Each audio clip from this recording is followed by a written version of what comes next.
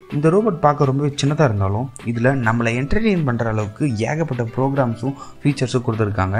So இந்த robot வந்து பார்த்திங்கன்னா நம்ம பார்க்க முடியாத சின்ன சின்ன சந்தில் கூட இந்த ப்ரோ இந்த ரோபோட்டை நம்ம இன்சர்ட் பண்ணி அது உள்ளே இருக்க விஷயத்த நம்மளால் கேப்சர் பண்ண முடியும்.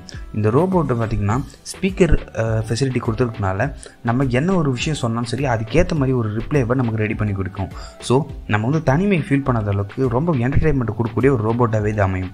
அது மட்டும் இல்லாமல் பார்த்திங்கன்னா என்விரான்மெண்ட்டுக்கு ஏற்ற மாதிரி அடாப்ட் பண்ணி அதுக்கேற்ற மாதிரி அதோட மூடு அது மாற்றிக்கும் இல்லை வந்து ரொம்ப சோகமாக இருக்கும் அப்படின்னா அதுக்கேற்ற மாதிரி காமெடிஸ் வந்து பண்ணுறது சம் ஆக்டிவிட்டிஸ் பண்ணுறது அதே சமயம் நம்ம ஃபேஸ் ரெக்கக்னைஸை பண்ணி அதுக்கேற்ற மாதிரி நமக்கு ரியாக்ஷன் கொடுக்குறது. இப்போ வந்து ஒரு ஒரு நாயை பார்த்துச்சுன்னா அதுக்கேற்ற மாதிரி ரியாக்ட் பண்ணும்.